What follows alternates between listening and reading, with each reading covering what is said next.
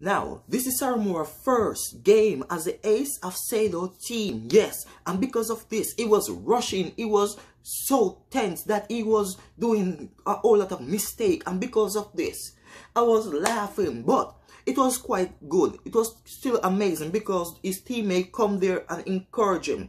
And because of this, they're doing quite good. And because they're doing quite good, I wonder what's what new adventure, what new challenge will Sawamura go through like he's the ace?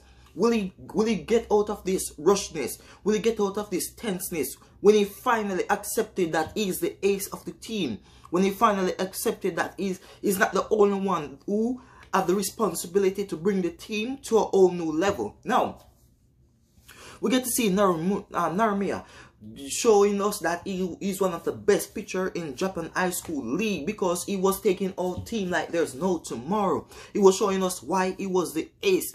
And because he was showing us why he's the ace, he was quite an amazing pitcher. I wonder when will Sawamura go up against him.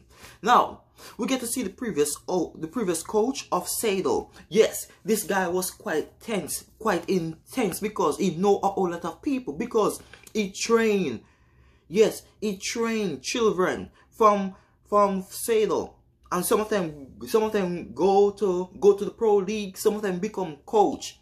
And some of them go to the pro league, become coach after the pro league, and this is what this is all he have a all of connection. Now he used this connection to get um video of Seido playing against different team, and because of this, he was saying that Seido have a lot of weakness because they change up yes, the team have a change up because there's a new ace. There's new players. And because of this, the team doesn't have the, the stable the stability that it previous that it previously have. And because of it, he was going to use his weakness to take down Seido. And because of this, I can't wait to see what's gonna happen in future um future video our future episode because it was quite an amazing episode and I can't wait to see what's gonna happen. Remember to subscribe or like the video.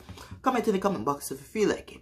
Thank you for watching. Hope to see you again in future episode of this amazing series.